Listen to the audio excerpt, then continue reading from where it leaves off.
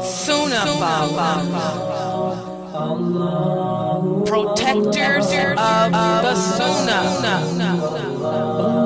Sunnah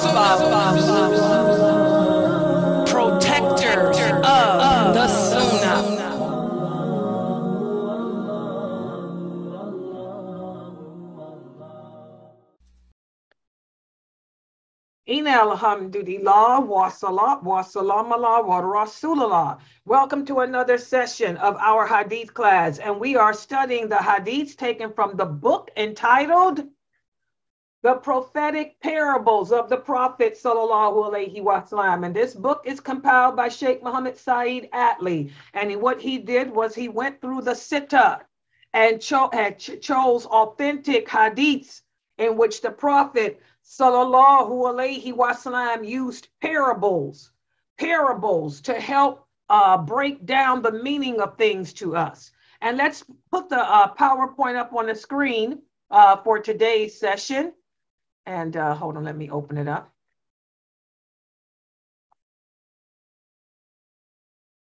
Inshallah, everybody should be able to see it in a minute.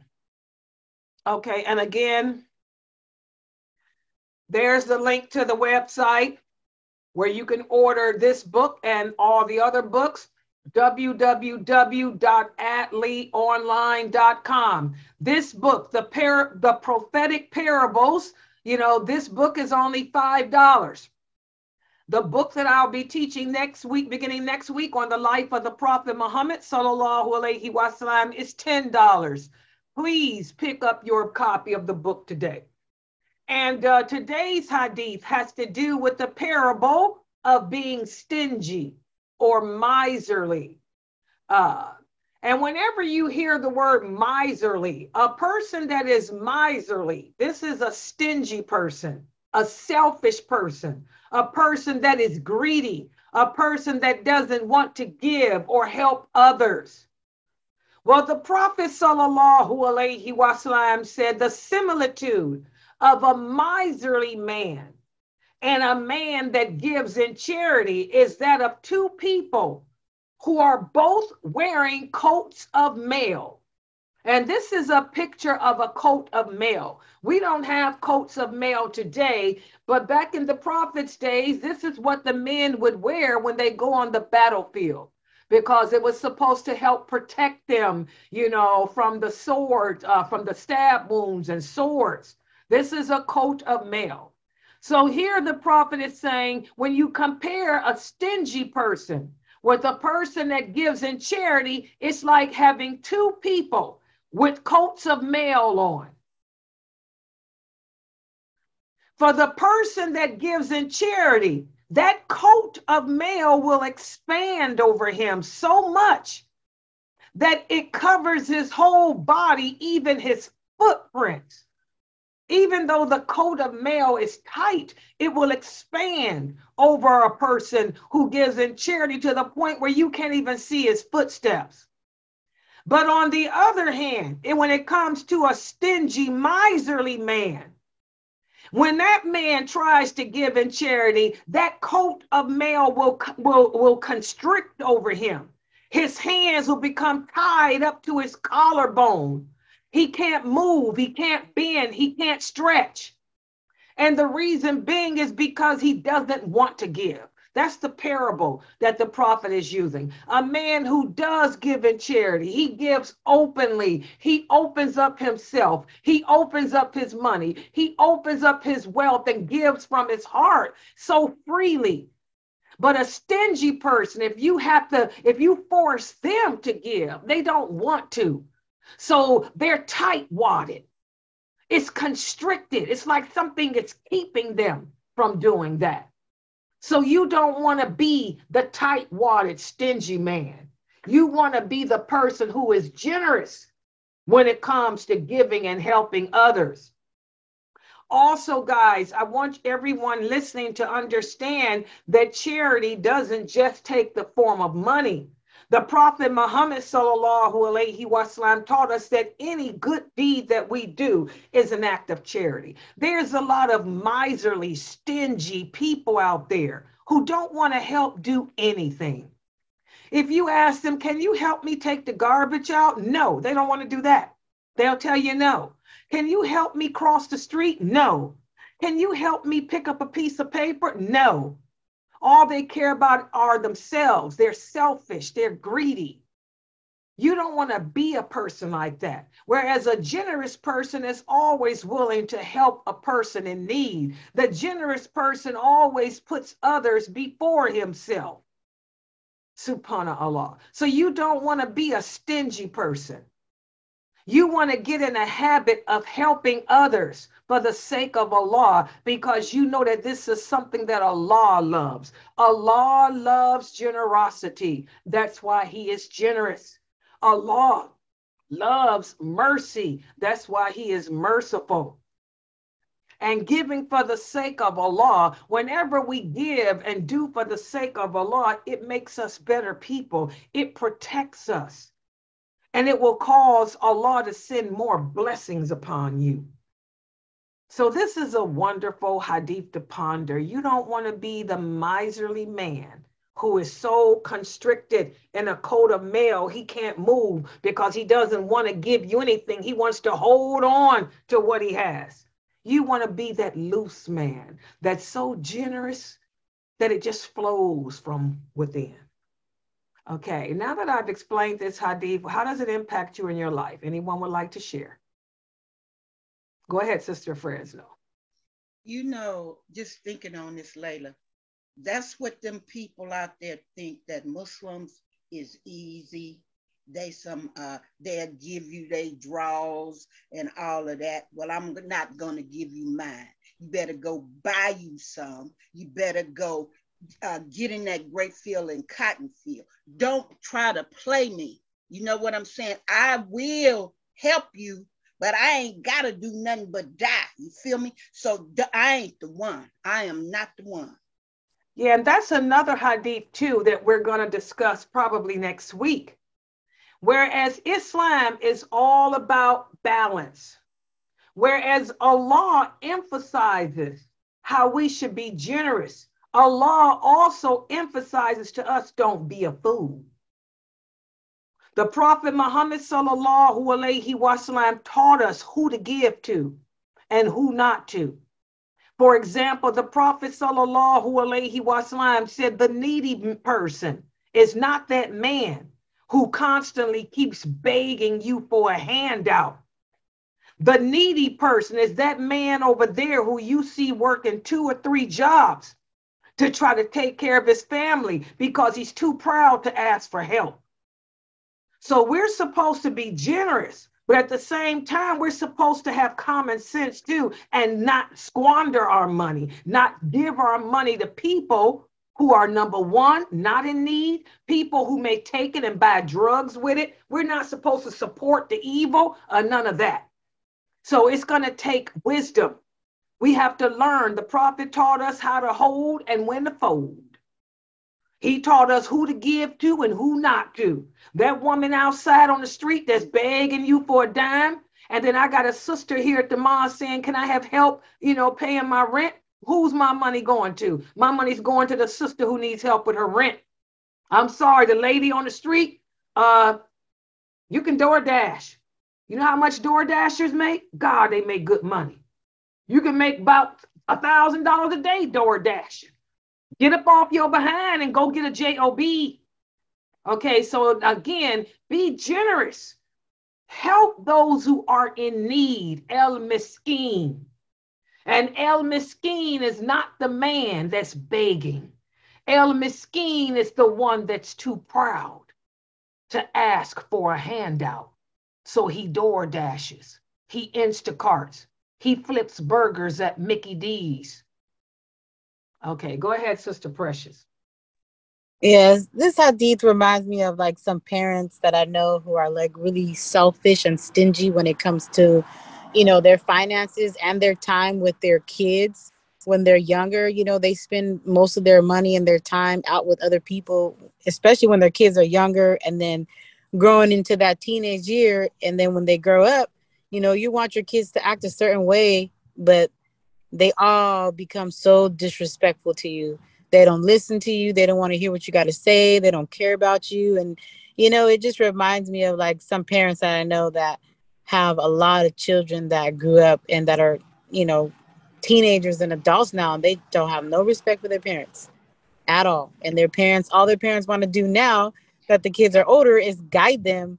But it's like where were you when they were growing up you know so it just reminds me of that financial financial wise and time wise Exactly, guys. That that's the the fate of man. That uh, Allah has a whole chapter in the Quran about time. How we're always at a loss with time. We don't take advantage of our youth. We don't. We we wait to the last minute, or it's too late to do things that we should have done.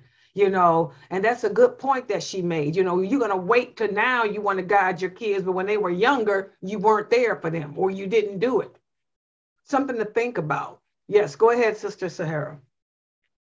Um, yeah, like so Sister Precious, how she brought that up. It also reminds me of, you know, um, people who are kind of greedy with their knowledge and not sharing the knowledge of Islam, especially if you know something and you um, want to guide someone, instead of keeping that to yourself, try to share it. I try to do that as much as I can with my siblings and my cousins and stuff and my relatives, and sometimes even people I don't know. And I don't want to be greedy. I want to give them information that's useful to them. Um, and it's like if they want to take it, they can, but I'm only doing my part. Exactly, guys. You know, Allah says in the Quran to save your family, save your soul and your family from the hellfire. Instead of doing all that dawah out in the street to a bunch of Christians who ain't interested in Islam, but they're interested in trying to convert you, and they're succeeding at rapid paces. Instead of out there wasting your time arguing with a bunch of kafirs, you should be sharing your knowledge, if you really got any, with your siblings or with your family, your cousins, your families. Save your soul and your family from the hellfire. Leave these Christians alone. Allah makes Muslims, not you, not me. Okay, yes, go ahead, Sister uh, Latifa. Yeah, this, this is a good hadith, and everything that everybody has said really just makes me think of many different things. But the one thing that I've thought about with this is that you do have to find a balance with this. You know, it, it takes a lot. You know, I one of my knobs is working on, you know, being stingy. I'm not a very given person, but when I'm in the right situation, I do give, but it's never, it's always like if somebody say, Oh, I need you for this. I'm like, Oh Lord, something done happened. And I'm not, what do I have to do? You know, and I have to remind myself it's for the pleasure of Allah. I got to keep saying that. So this hadith remind me of finding that balance because I had, I know a person that was, they were always kind of tight and stingy, but then they really got hurt and really needed money. And then I had to really talk myself into okay you know they're really in need now and they are family. So for the pleasure of allah go ahead and do this thing. So like i said you got to really be careful and make sure that you're not looking at somebody say i'm not going to do anything because of their past or whatever. You got to yes. really work hard at that. Yeah that's a hard thing to do too to not hold a grudge. I have to catch myself with that too. My granddaughter you know she's very very selfish. She's young. I'm trying to teach her okay she's young and, and, and can learn. But you know you know eh, you, no one likes to have things thrown up in your face you know, you ask a person to go to the grocery store with you. Oh, no, no, no. You know, remember that time I did this? Remember that time? And it turns you off. It'll turn you off to the point where you don't want to be bothered with that person. Whereas that you don't want to help that person. You don't want to give that person nothing. And like Latifa say, you have to find the balance to not hold a grudge. That's the thing, grudging.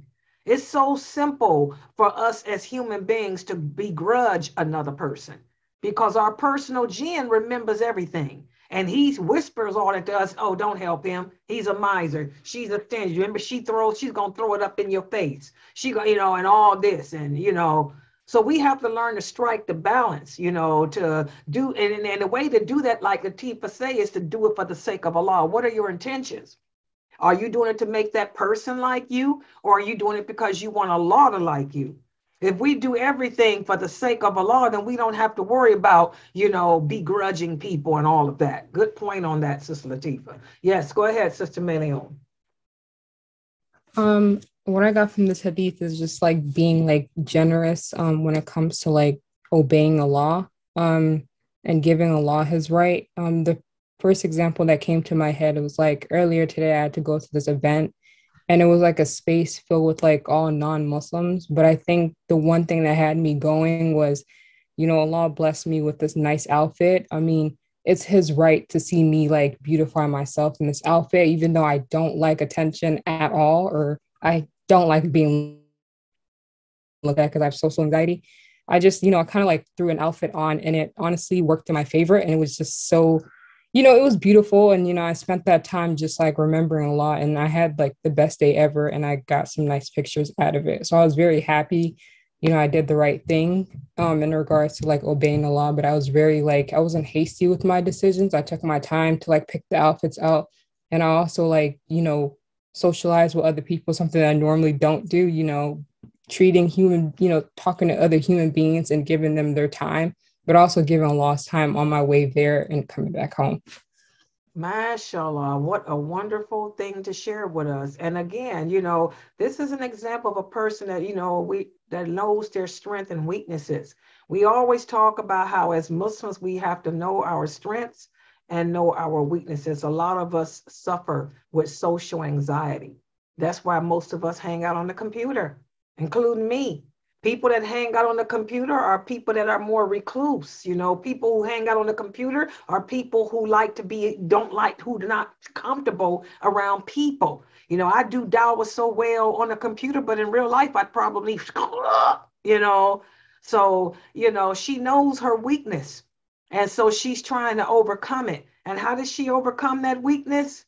By putting Allah first and foremost, by saying, I'm going to, I know Allah wants me to change. Allah wants me to become a better person. So I'm going to show my gratitude to Allah for the blessings He's given me by wearing the wonderful clothing.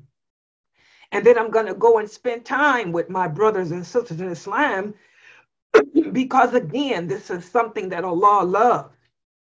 And the fact that she did it for the sake of Allah, that propelled her forward to get through her day and overcome her weakness and earn Allah's pleasure.